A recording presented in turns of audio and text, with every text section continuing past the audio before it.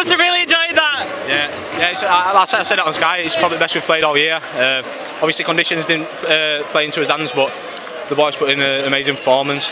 And Leigh, their defence, they were penning Featherstone deep. You were having to kick from deep each time, weren't you? But that kick chase was brilliant. Yeah, that's it. We spoke about it at half time and before the game. If we, if we kick chase well, keep their back three quiet, then we'll be in for a decent game.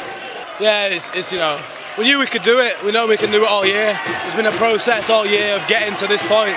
We knew we had to get to the playoffs, and we're, you know, we're not afraid of anyone we're playing anyone.